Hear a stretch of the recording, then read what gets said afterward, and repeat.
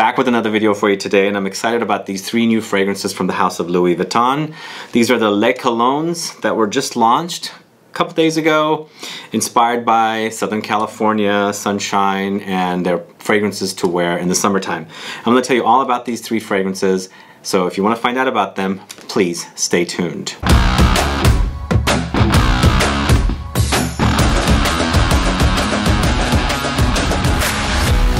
Thanks so much for tuning in. This is Sebastian with Smelling Great Fragrance Reviews. If this is your first time landing on my channel and you love watching fragrance reviews, finding out about new fragrances, discovering new brands, and participating in giveaways and still haven't subscribed to this channel, please click that subscribe button below and also click the bell so you'll be notified for future videos and giveaways.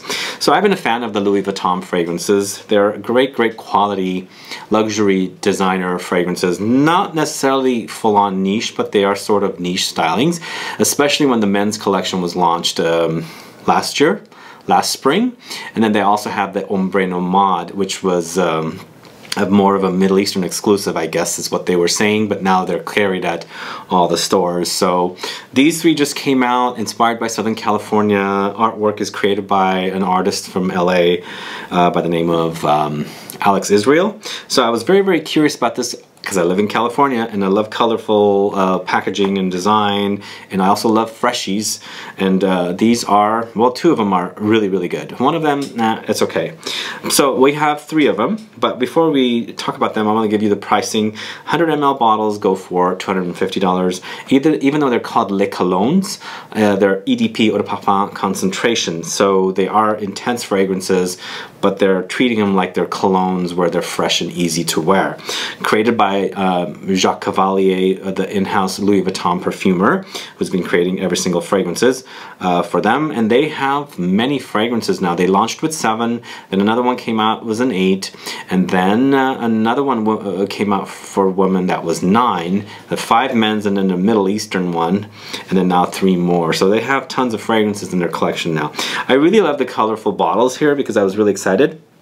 And um, it's interesting also when I bought these, before I bought them, I smelled them at the Louis Vuitton boutique in San Francisco. I didn't, it was a different order of likes. Now I'm changed after I've been wearing them a little bit and I'm like, can you guess which one's my favorite? So this one is called Afternoon Swim, and this is the bo uh, box for it. It's beautiful design work, uh, as you can see. Uh, they've got the waves. Of course, California is right on the coast, Pacific Ocean, and you've got to have um, that uh, design there. And then you have number two, it's Cactus Garden, and I love the design work on this one as well. You've got the desert look and everything, the cactus, of course.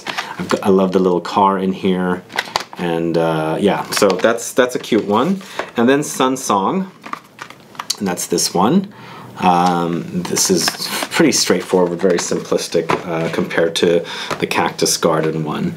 So I'm going to tell you about uh, the notes. I've got a cheat sheet here because I'm just uh, testing them now. With Afternoon Swim, you've got bergamot, mandarin orange, ginger, ambergris, and then with Cactus Garden, mate, bergamot, lemongrass, incense, and then with Sun Song, you have uh, lemon, bergamot, neroli, jasmine, and musky notes. So by me reading to you the notes, which do you think is my favorite? So originally, I thought uh, when I sampled them in the store, these two were my favorites. Now it's shifted around a little bit since I've been wearing them. And can you guess which? So my two favorites are these two now. This one is kind of not sure about it. It's not my favorite. So with the uh, afternoon swim, the bottle is a beautiful blue bottle, and it's bluish. Obviously, it's it's inspired with um, aquatic touches, but there's no real aquatic notes in here. There's that ambergris, but it is so zingy and refreshing. It's quite delicious. The the thing is, all these fragrances from Louis Vuitton, even though they smell great, they're not anything groundbreaking. It's been done before, but you know you've got that Louis Vuitton luxury touch to them, and the bottles are really really amazing. And the cool thing about these bottles, they're refillable, and Louis Vuitton's bottles are some of the best sprayers uh, next to Dior. In fact, same parent company LVMH, Louis Vuitton, Moet and Hennessy, so their sprayers are pretty amazing. So when they refill these bottles, they replace this top part and they put a new one in so that, you know, when you've sprayed the whole thing down, um, if you get another whole 100 ml, or if it's the 200 ml bottle, then you get a brand new sprayer so that it doesn't go bad on you. So the, the, the sprayers are like this, really, really great sprayer. And this one is so juicy so juicy. It does have an underlying um, underlying um, aquatic touch. I think that's coming from the ambergris mostly but the juiciness of the citruses is crunchy uh, like uh, tart a little bit not overly tart these are like more sweeter citruses but the refreshing qualities of them are there the, the zinginess the zestiness of those uh, juicy citruses are right there I would love to go to uh, an after afternoon swim uh, with this kind of a fragrance on. It's it's it's awesome. Um, I'm experiencing more more swimming pool swimming for me. California, you know, we don't really swim in the Pacific Ocean because it's really not swimmable. It's too cold.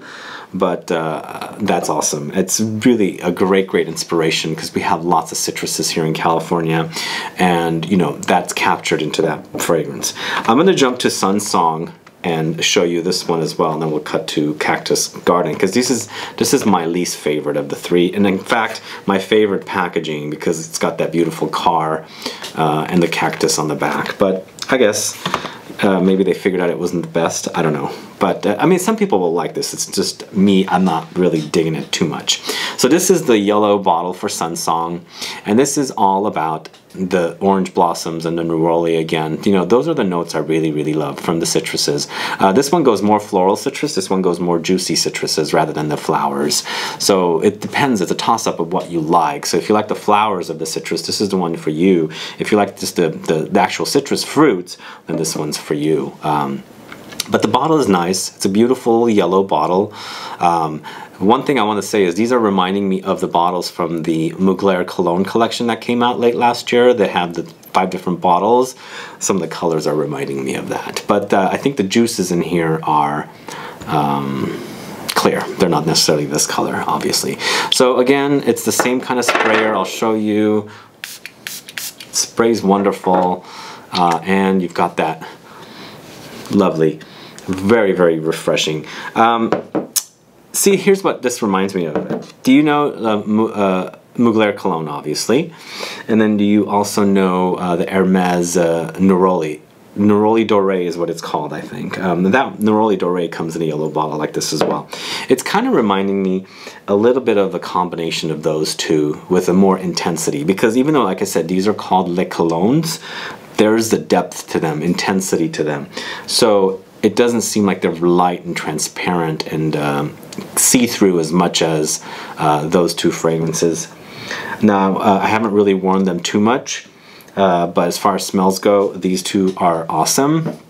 Love the two smells.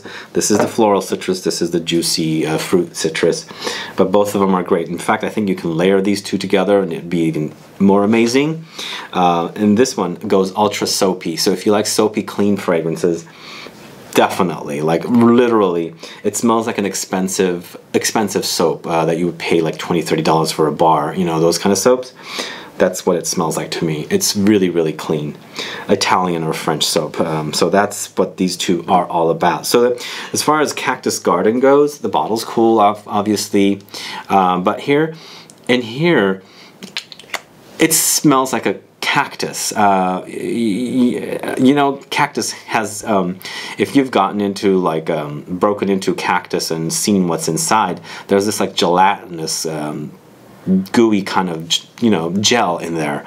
Um, when you when you go and uh, you know get suntan and you want to put some aloe vera on it's kind of similar. You pick that off. Inside there's gelatinous that's what it smells like. It smells like jelly, kind of. Um, I mean, I'm not saying it smells like jelly or like flavored or fruit flavored jelly. It just smells like it, it's like gelatinous, like um, gooey a little bit. But there's that mate note in here, so that's why it's gone green because mate is green, and um, it's it's not my favorite. The ginger and the incense, I think Wait, wait, no, there's no ginger in, in here. This one's all about the incense. I just think it's kind of muted to me. It doesn't smell as fresh as everything else.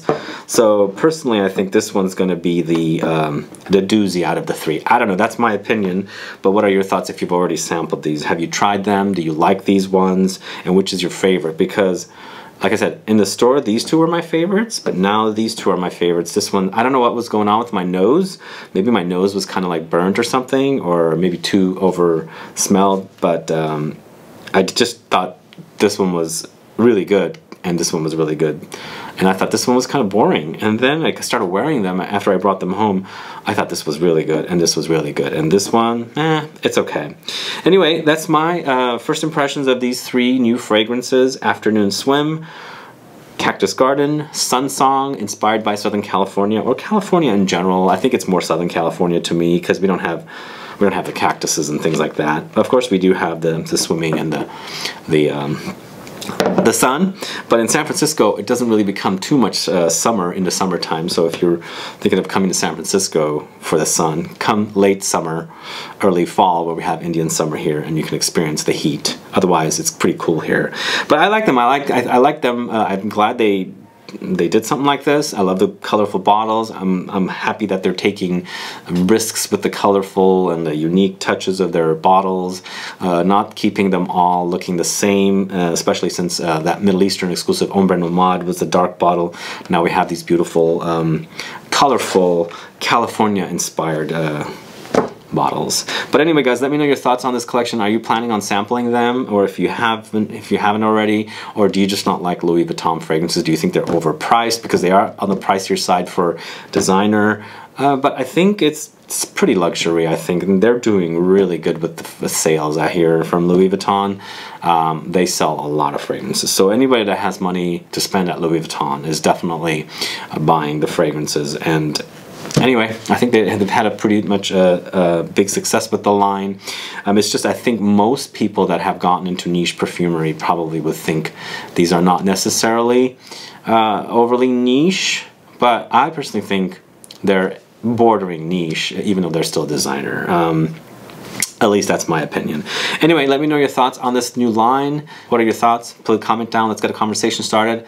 Other than that, please like this video. Please share it. Follow me on Facebook, Twitter, and Instagram, and I'll be back with more videos very soon. Have a good one. Goodbye.